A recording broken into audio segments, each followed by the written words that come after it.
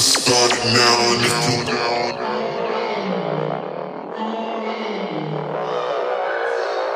Just start it now and if you